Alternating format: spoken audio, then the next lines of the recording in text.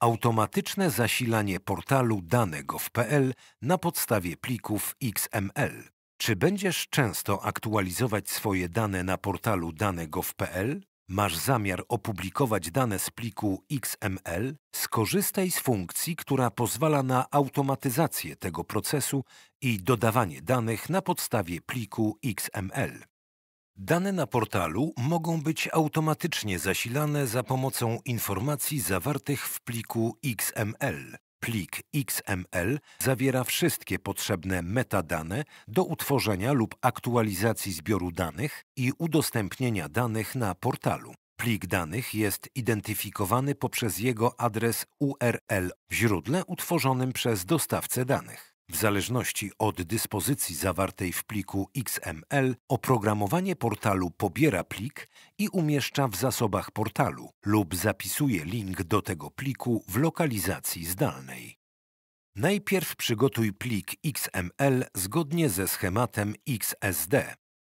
Następnie nadaj nazwę plikowi XML zgodnie z przyjętą konwencją. Nie stosuj spacji w nazwie oraz dodaj na końcu rozszerzenie XML. Plik XML będzie miał ustaloną nazwę podaną jako ciąg znaków bez spacji. Każda nowa wersja pliku XML, którą będziesz przygotowywał w ramach tego samego źródła danych, będzie posiadała tę samą nazwę. Potem przygotuj plik zawierający sumę kontrolną pliku XML wyliczoną algorytmem MD5. Na podstawie pliku XML generowana jest suma kontrolna, hash. Jej wartość wklej do pliku MD5. Teraz umieść oba pliki w ustalonej lokalizacji.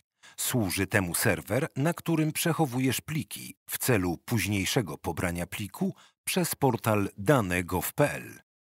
Potem wyślij wniosek o automatyczne zasilanie danych w portalu dane.gov.pl do administratora portalu na adres kontakt małpa dane.gov.pl.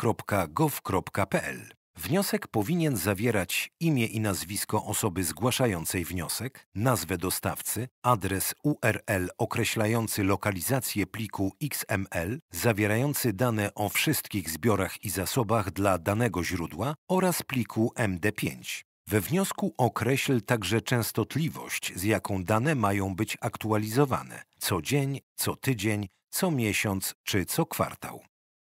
Podczas dodawania pliku administrator sprawdza poprawność pliku XML.